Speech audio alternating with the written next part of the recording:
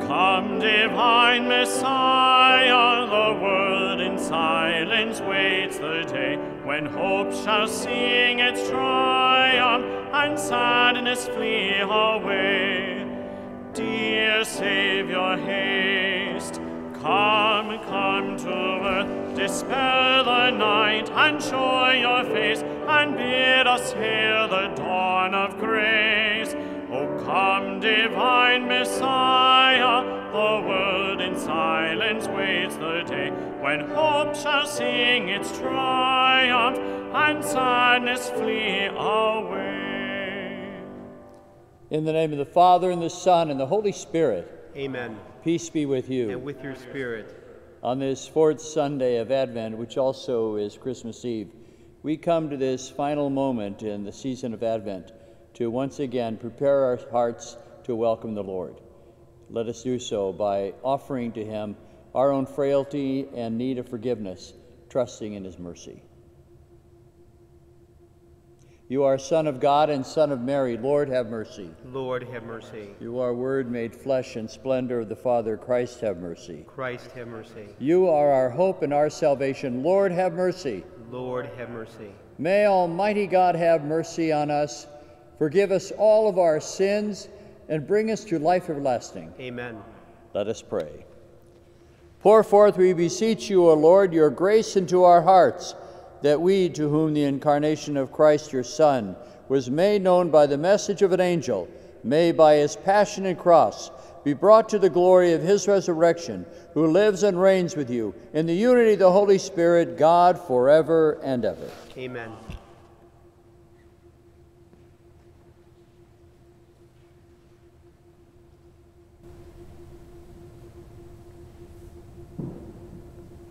A reading from the second book of Samuel. When King David was settled in his palace, and the Lord had given him rest from his enemies on every side, he said to Nathan the prophet, Here I am, living in a house of cedar, while the ark of God dwells in a tent. Nathan answered the king, Go, do whatever you have in mind, for the Lord is with you. But that night the Lord spoke to Nathan and said, Go, tell my servant David, Thus says the Lord, Should you build me a house to dwell in? It was I who took you from the pasture and from the care of the flock to be commander of my people Israel. I have been with you wherever you went, and I have destroyed all your enemies before you. And I will make you famous like the great ones of the earth. I will fix a place for my people Israel. I will plant them so that they may dwell in their place without further disturbance. Neither shall the wicked continue to afflict them as they did of old, since the time I first appointed judges over my people Israel. I will give you rest from all your enemies. The Lord also reveals to you that he will establish a house for you. And when your time comes and you rest with your ancestors, I will raise up your heir after you, sprung from your loins, and I will make his kingdom firm. I will be a father to him, and he shall be a son to me. Your house and your kingdom shall endure forever before me. Your throne shall stand firm forever. The word of the Lord. Thank you, God.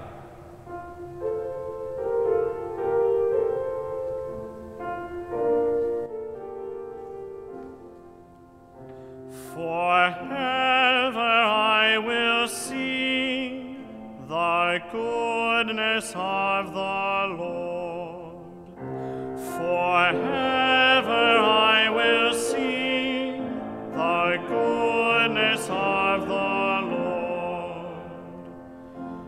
I will sing forever of your mercies, O Lord. Through all ages my mouth will proclaim your fidelity. I have declared your mercy is established forever. Your fidelity stands firm as the heavens. Forever I will sing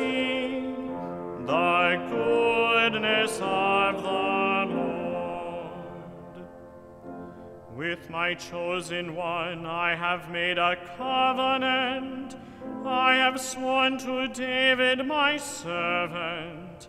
I will establish your descendants forever and set up your throne through all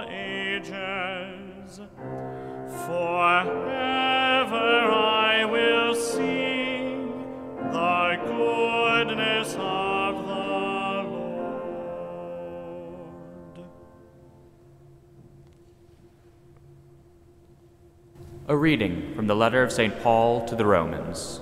Brothers and sisters, to him who can strengthen you, according to my gospel and the proclamation of Jesus Christ, according to the revelation of the mystery kept secret for long ages, but now manifested through the prophetic writings, and according to the command of the eternal God, made known to all nations to bring about the obedience of faith.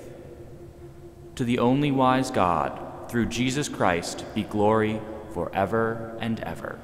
Amen. The word of the Lord. Thanks be to God.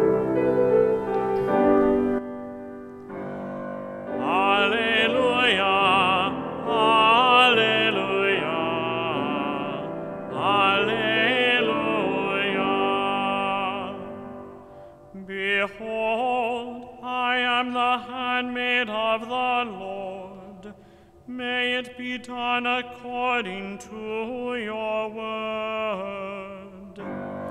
Alleluia, Alleluia, Alleluia. The Lord be with you. And with your spirit. A reading from the Holy Gospel according to Luke. The angel Gabriel was sent from God to a town of Galilee called Nazareth to a virgin betrothed to a man named Joseph of the house of David, and the virgin's name was Mary. And coming to her, he said, Hail, full of grace, the Lord is with you. But she was greatly troubled at what he said and pondered what sort of greeting this might mean.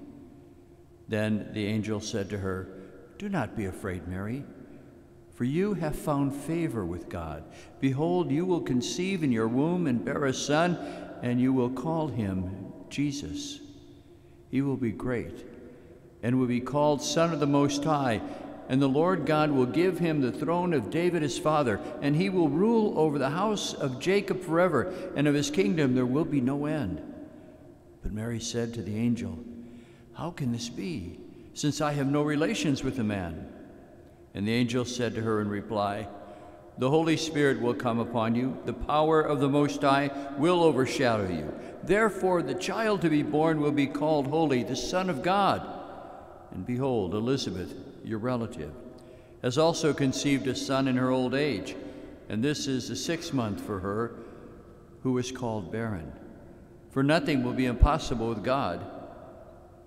Mary said, Behold, I am the handmaid of the Lord. May it be done to me according to your word. Then the angel departed from her. The Gospel of the Lord. We have now come to the final week of our preparation for Christmas on this fourth Sunday of Advent, with tomorrow being Christmas. And Mary is the one who reflects for us what should be happening inside of us, what kind of new growth in life we should see, what grace the Lord is giving us in order to be more fully Christian. For she is the first of all Christians, the one who knew and accepted Jesus the longest in history.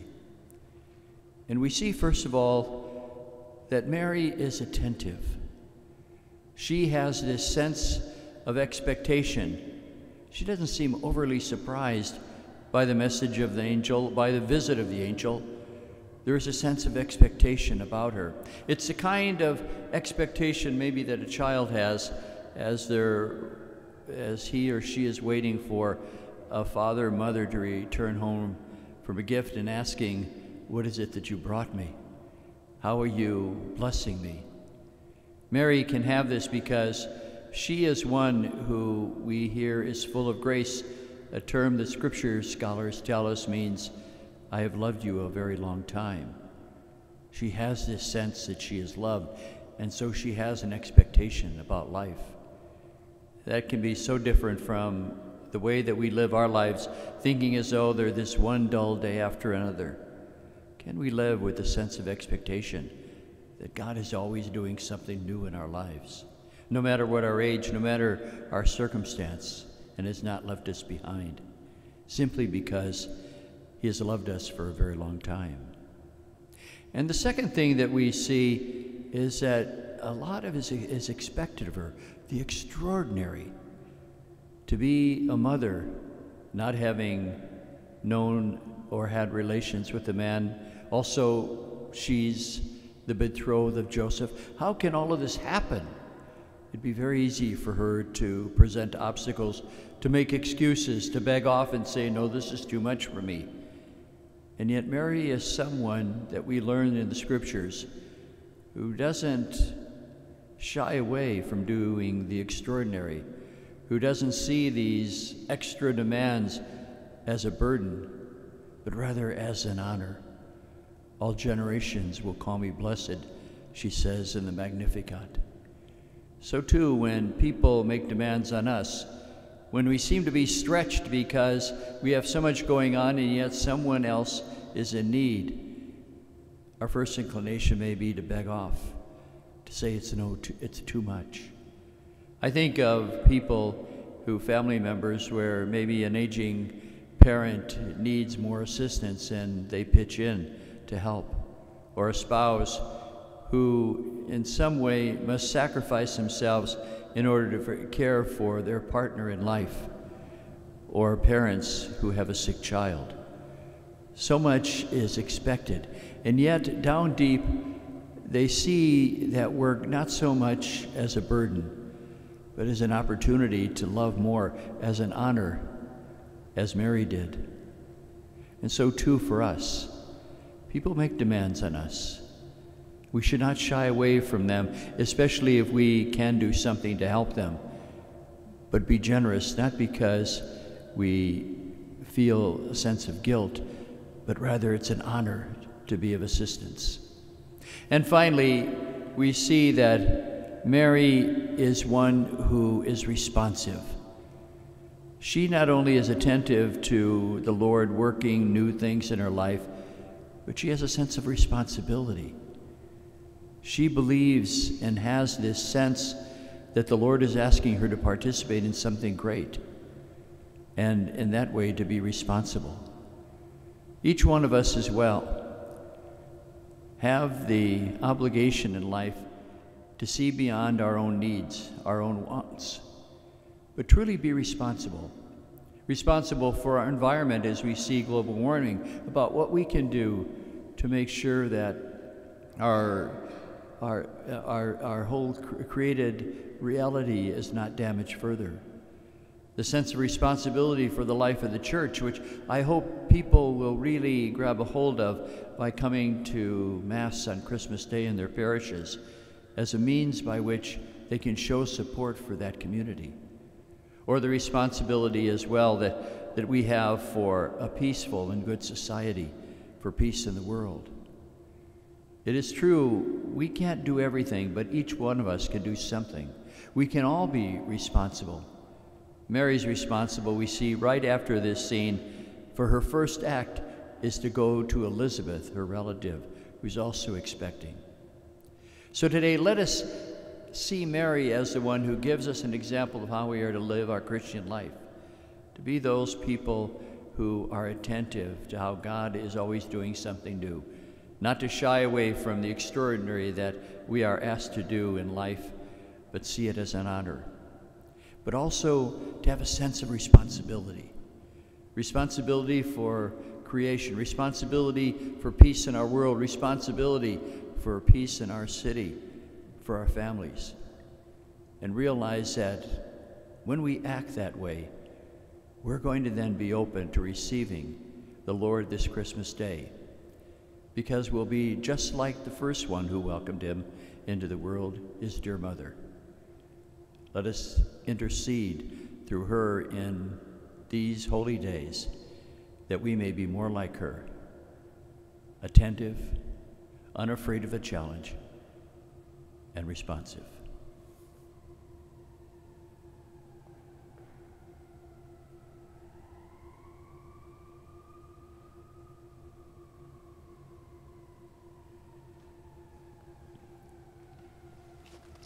I believe in God, the Father Almighty, creator of heaven and earth, and in Jesus Christ, his only Son, our Lord, who was conceived by the Holy Spirit, born of the Virgin Mary, suffered under Pontius Pilate, was crucified, died, and was buried. He descended into hell.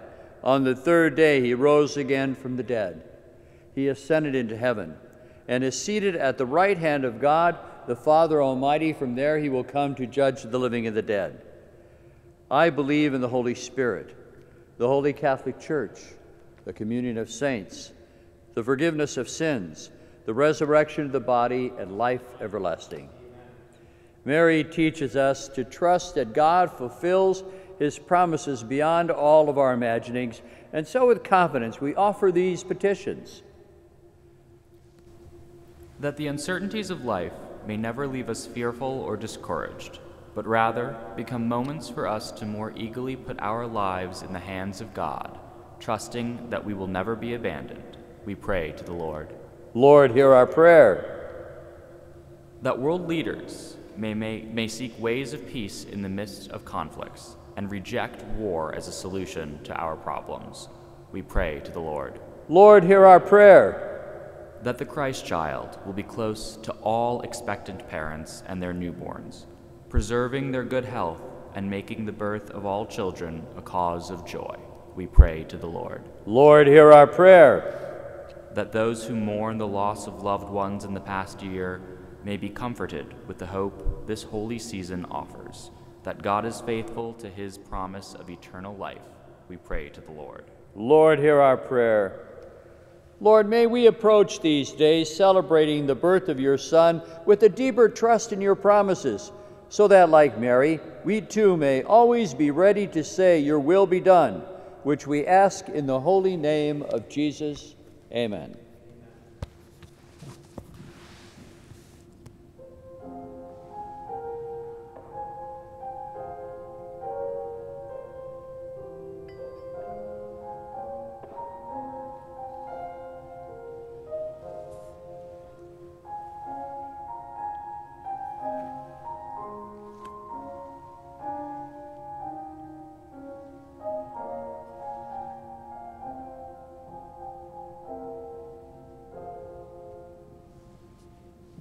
Pray, my sisters and brothers, that my sacrifice and yours will be acceptable to God the Father Almighty.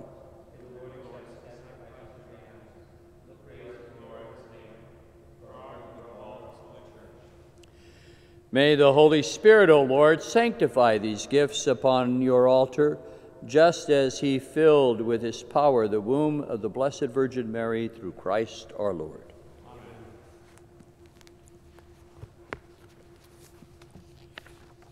The Lord be with you. And with your spirit, Lift up your hearts. lift them up to the Lord. Let us give thanks to the Lord our God. It is right and just. It is truly right and just, our duty and our salvation, always and everywhere to give you thanks, Lord, Holy Father, Almighty and eternal God, for all the oracles of the prophets foretold him. The Virgin Mother longed for him with love beyond all telling. John the Baptist sang of his coming and proclaimed his presence when he came. It is by his gift that already we rejoice at the mystery of his nativity, so that we may, he may find us watchful in prayer and exultant in his praise. And so, with angels and archangels, thrones, dominions, all the host, the powers of heaven, we sing the hymn of your glory, as without end we acclaim.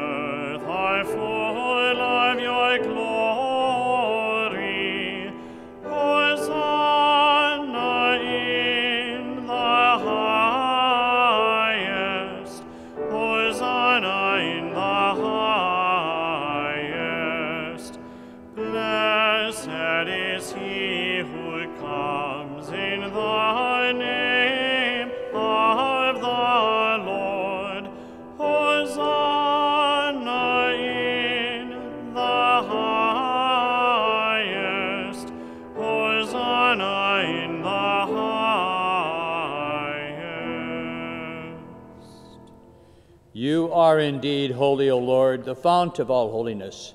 Make holy, therefore, these gifts, we pray, by sending down your Spirit upon them like the dewfall, that they may become for us the body and blood of our Lord Jesus Christ.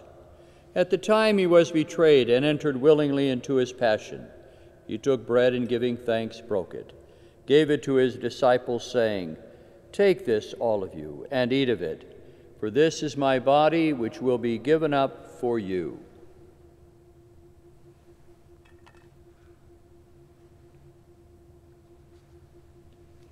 In a similar way, when supper was ended, he took the chalice, once more giving thanks.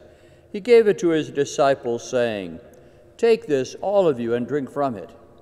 For this is the chalice of my blood, the blood of the new and eternal covenant, which will be poured out for you and for many for the forgiveness of sins. Do this in memory of me.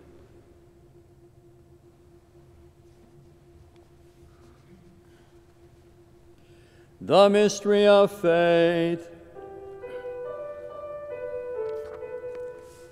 We proclaim your death, O Lord, and profess your resurrection until you. Therefore, as we celebrate the memorial of his death and resurrection, we offer you, Lord, the bread of life, the chalice of salvation, giving thanks that you have held us worthy to be in your presence and minister to you.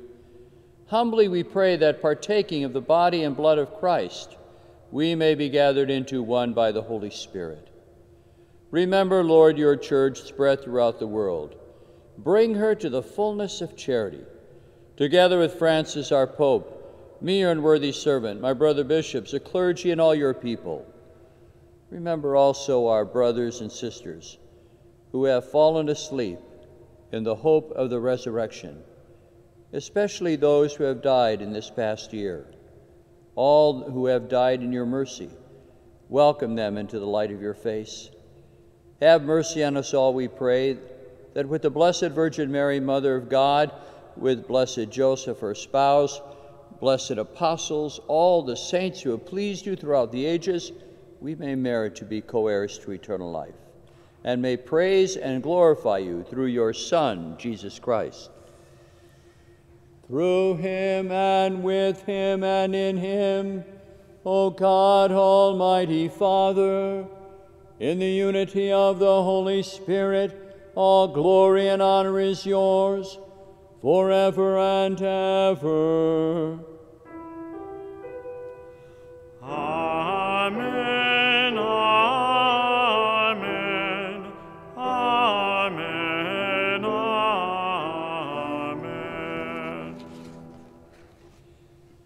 At the Savior's command, informed by divine teaching, we dare to say, Our Father, who art in heaven, hallowed be thy name. Thy kingdom come, thy will be done, on earth as it is in heaven. Give us this day our daily bread.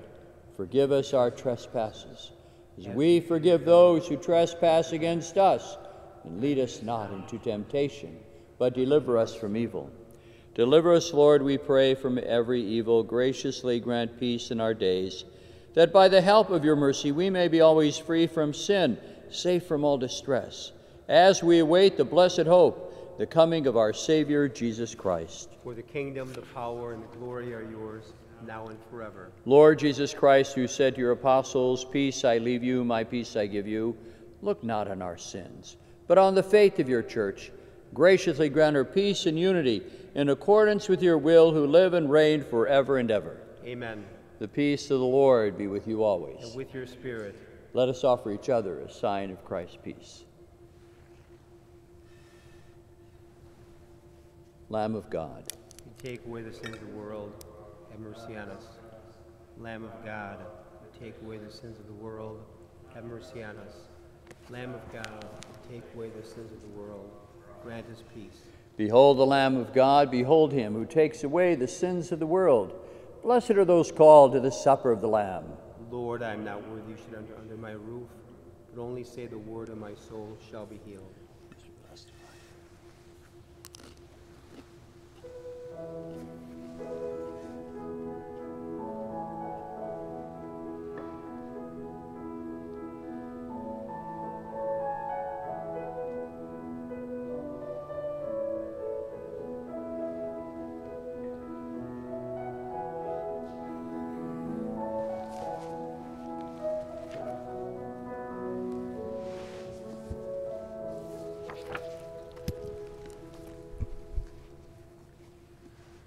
An act of spiritual communion.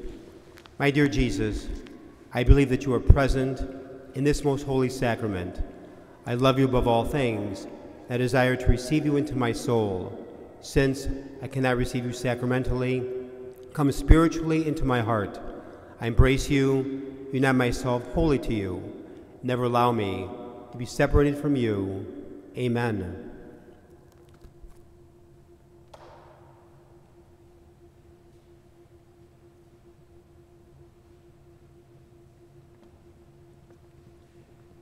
Let us pray. Having received this pledge of eternal redemption, we pray, Almighty God, that as the feast day of our salvation draws ever nearer, so we may press forward all the more eagerly to the worthy celebration of the mystery of your Son's nativity, who lives and reigns forever and ever. Amen. Again, it's a pleasure to be with you. Please uh, look at the uh, website of the Archdiocese of Chicago archchicago.org uh, for information about masses uh, that are being broadcast at midnight mass as, al- as well as my mass on Christmas morning. And again, I encourage, uh, if possible, for you to join your parish community on Christmas Day. We find it a great joy in making sure that we're together on such a happy and beautiful feast. A blessed holiday season to you, blessed Christmas uh, and we look forward to celebrating with you in the days ahead. The Lord be with you. And with your spirit. May Almighty God bless you, Father, Son, and Holy Spirit. Amen. Go in peace. Thanks be to God.